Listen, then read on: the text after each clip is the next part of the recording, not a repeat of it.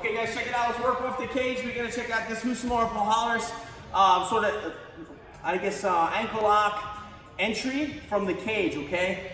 Um, so I'm here, let's say I have a high crotch here, I'm digging in for the takedown, or maybe I have a single leg here, I can do it from the single as well.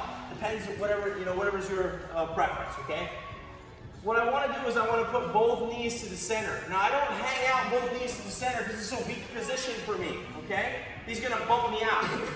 But if I put both knees to the center, as I'm executing this move, what'll happen is I'll start to go underneath his base. I'll start to undermine his base. I could pull him on top of me and go for my ankle locks and or uh, sweeps from this position. So let's say I have my, my high crotch, I'm here, all right, I'm gonna pull it up. This knee's gonna step in. Both knees will be in center line. I'm gonna recline, go under his base, and attack his foot. So I pick it up, recline, come here. I look to bump him, and a lot of times, as you see, Palhares would go for his heel hook. So he's here, he's turning, twisting.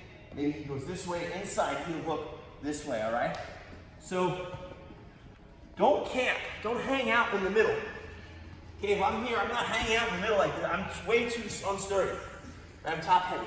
However, if I'm reclining, it doesn't matter. I'm just gonna go quick with it. You can do the same off a single. So I'm here. I step in, sit, recline, attack, come down, straight ankle lock, heel hook, or I can go inside the hook. Okay, so let's work that off the wall. Uh, Rousimar Palhares is fantastic at it. Is eat people's feet up, right? So uh, let's work that. Let's do it. Three, two, one.